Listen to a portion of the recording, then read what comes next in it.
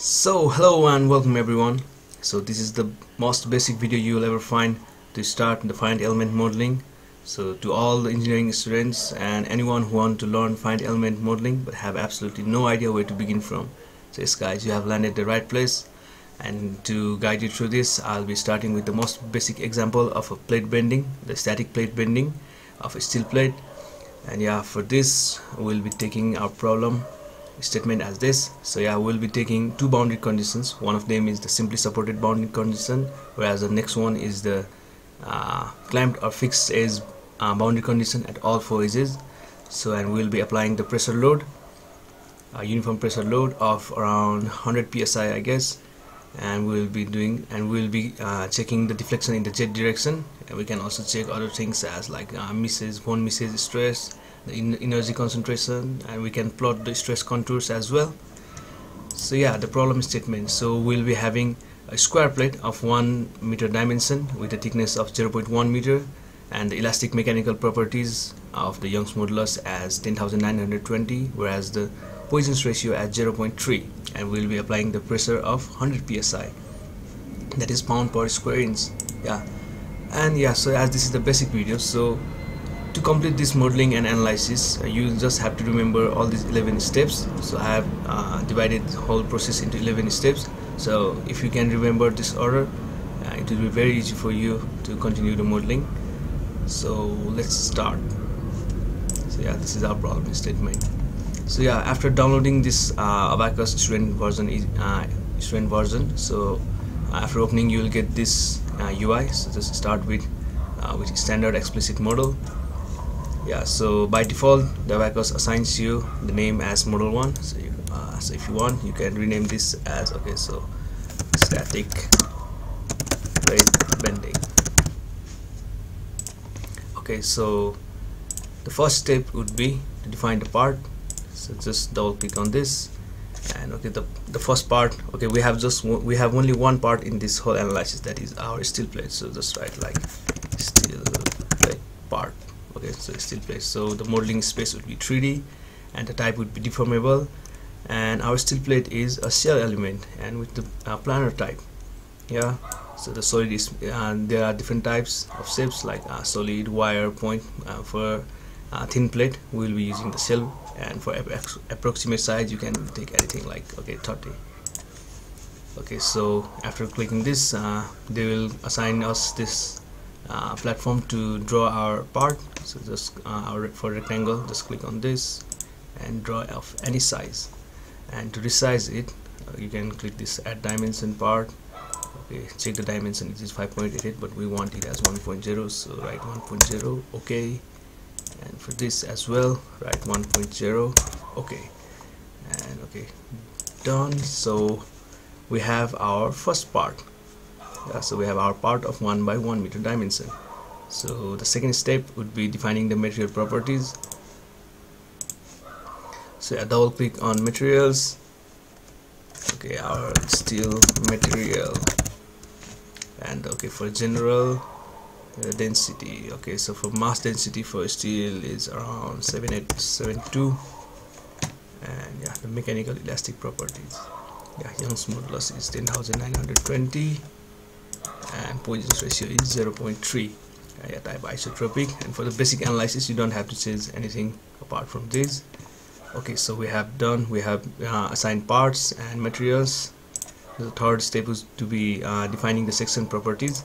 So just go to sections. Okay our section let's let's rename it with anything you want.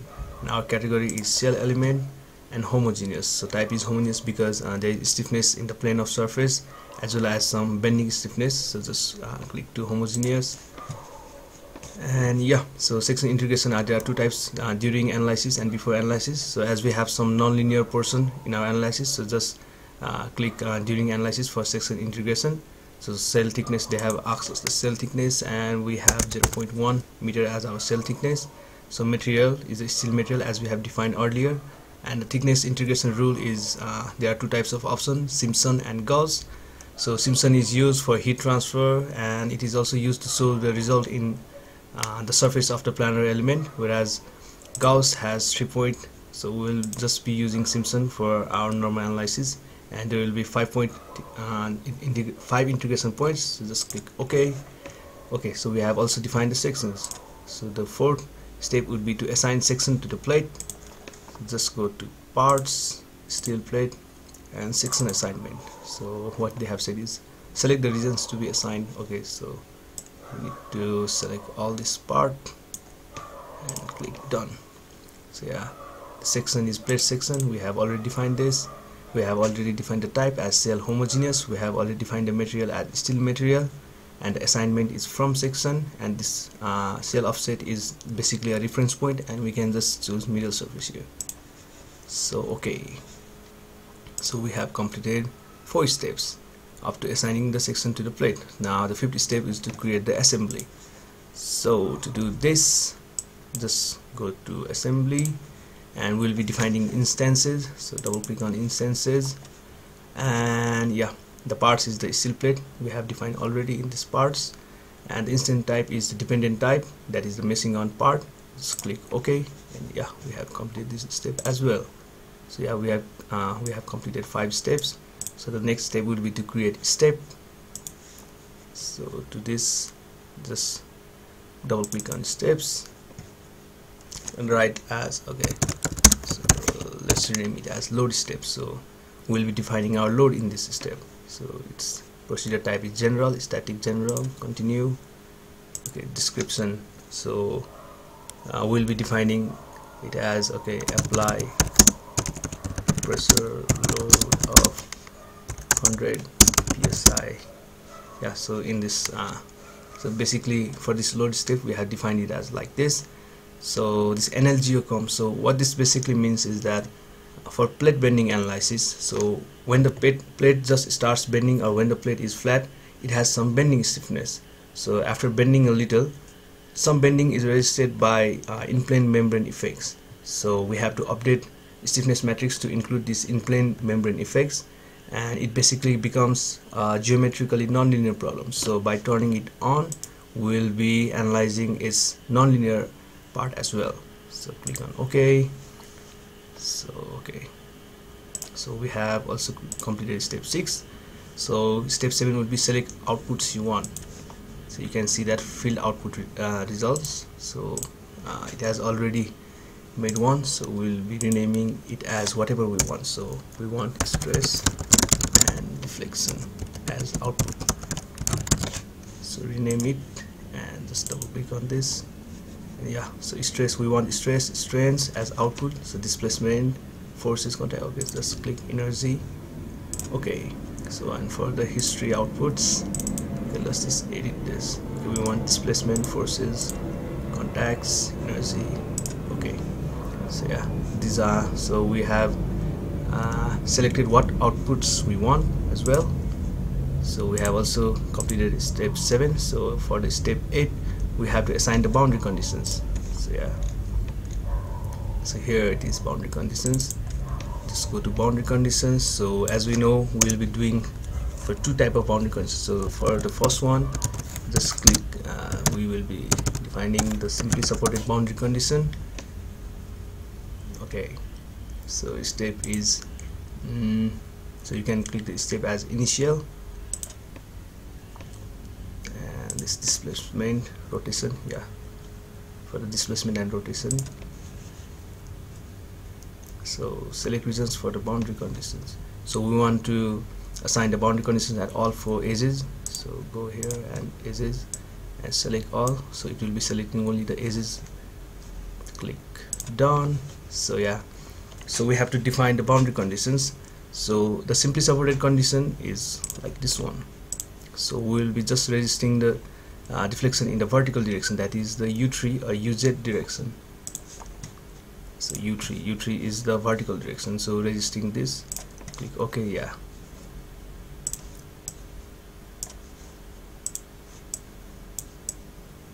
So yeah. This is our so this is our simply supported condition boundary condition. So after that let us apply some loads. Yeah then step 9 will be assigning loads. So just click on so wait so let's just make this. And let's drag it here. Let's make it vertical.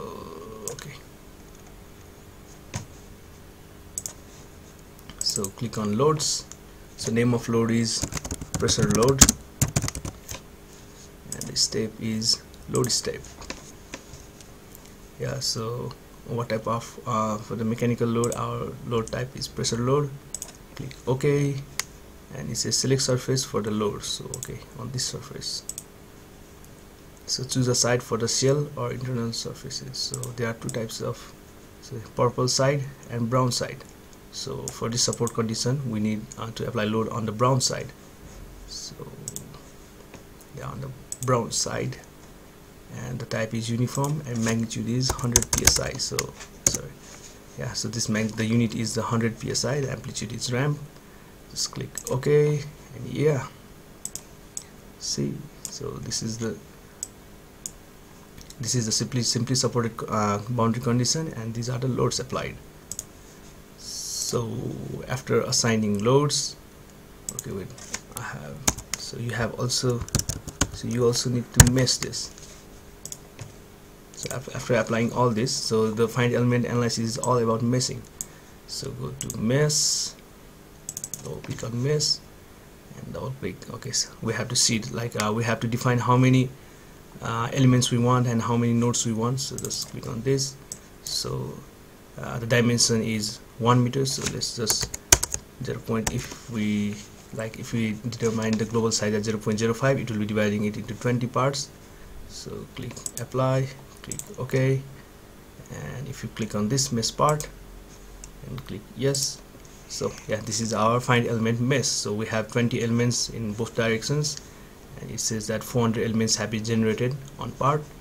Yeah so this is the basic configuration. We have completed all the configurations for this now to check the results what we have to we have to create job so go to job and yeah create the name of job like so, so bending analysis for example. Yeah the source is model the bending analysis.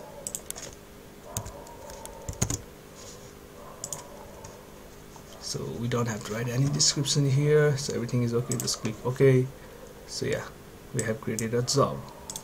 And we have to submit this job.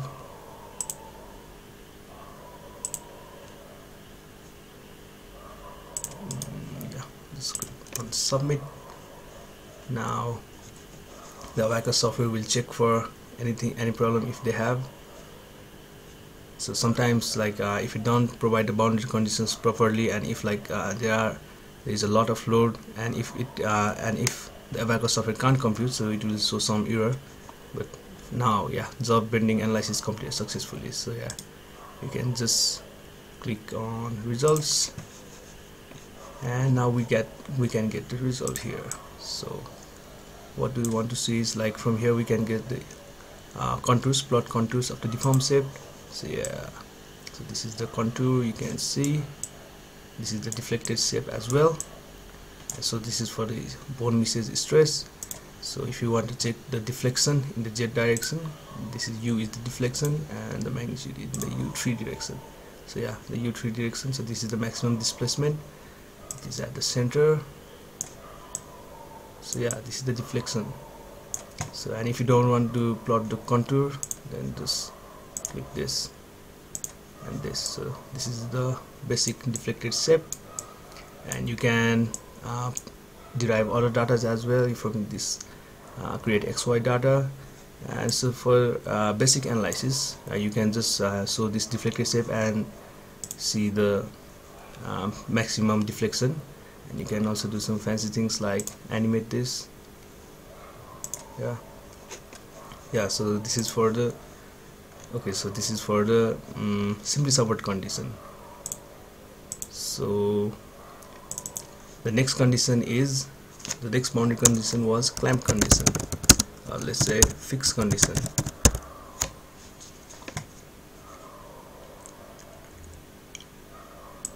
Boundary condition initial displacement okay so select conditions so as is. Done. So for clamp condition check all these because uh, the clamp condition basically means a fixed condition so we have to restrain in all these directions. So yeah. So as you can see it is restraining in all the directions. So yeah, this is the clamp condition. And we have already done the load so we can create new job.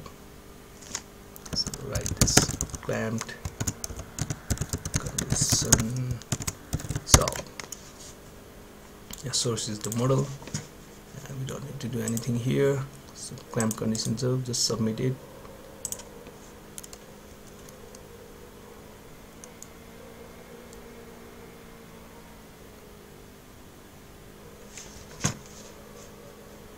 Yeah so shows that job uh, clamp condition has been completed successfully so just check for the results. Yeah for the clamp condition okay so this is for the clamp condition. So if you want to see deflection let's go here u3 okay. For clamp condition like you have less deflection. So guys yeah this is the most basic analysis. So with this I hope you can at least do like uh, for different shapes you can check uh, different things. Uh, you can just see here anything you can see. So this is for the Mises stress in plain principle Tresca stress you know Tresca and von Mises are the most defining uh, stress parameters. Yeah you can just toggle around and just have fun with uh, various options that Abaqus has for you.